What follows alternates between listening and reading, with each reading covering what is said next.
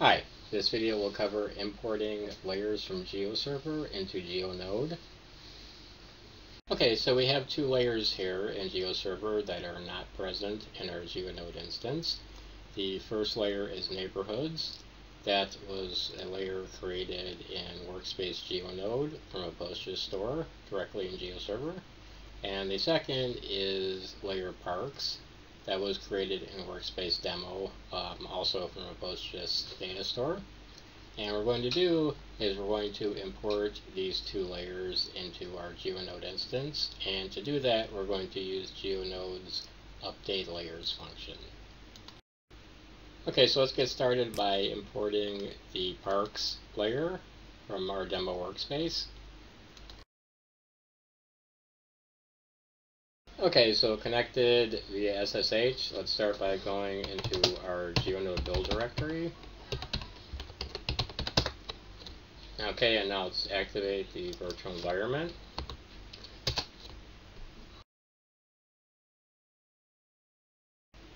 Okay, and the command we'll be using to import the layers is the update layers command.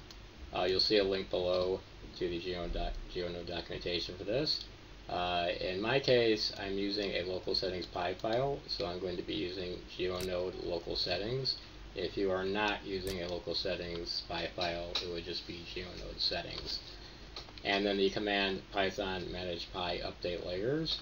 And here I'm also adding uh, W to specify a workspace. And specifying the workspace means that all layers will be imported from that workspace.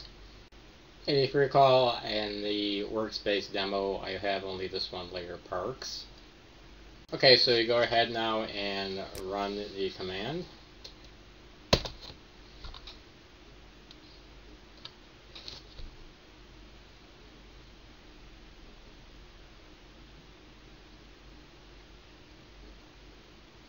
Okay, we see one created layers, zero updated, zero failed. And let's take a look now in GeoNode and make sure that we can see the layer there. Okay, so back at GeoNode, let's go ahead and refresh, and we should see our parks layer imported from the demo workspace. Okay, and we see the parks layer has been successfully imported into GeoNode. Okay, so now let's run the update layers command again, uh, but this time let's specify both the workspace and the store. The command itself is the same. Okay, so we're going to be importing layers from Workspace GeoNode and also specifying from store demo source. And if we take a look back in our GeoServer layers here, um, we see that the neighborhoods layer that we're going to import is in the GeoNode workspace along with the uh, shapefile that we uploaded directly into GeoNode. Uh, this time though, we're going to not only specify the workspace GeoNode, just as we specified workspace demo earlier, we're also going to specify the store along with it.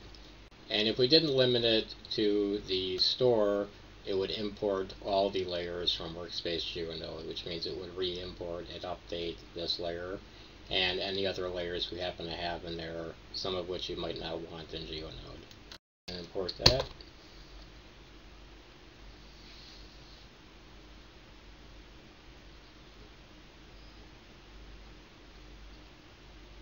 Okay, and one created layers, zero updated, zero failed.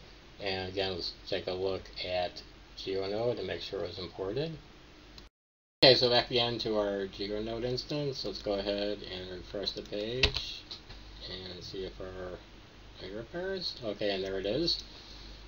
Okay, so we first imported the parks layer using specifying only the workspace and then we imported the neighborhoods layer specifying both the workspace and the store. Okay, so just to summarize, we began by identifying which layers in GeoServer we wanted to import to GeoNode. We then activated our virtual environment, and then we used the GeoNode update layers command to import the layers that we wanted from GeoServer.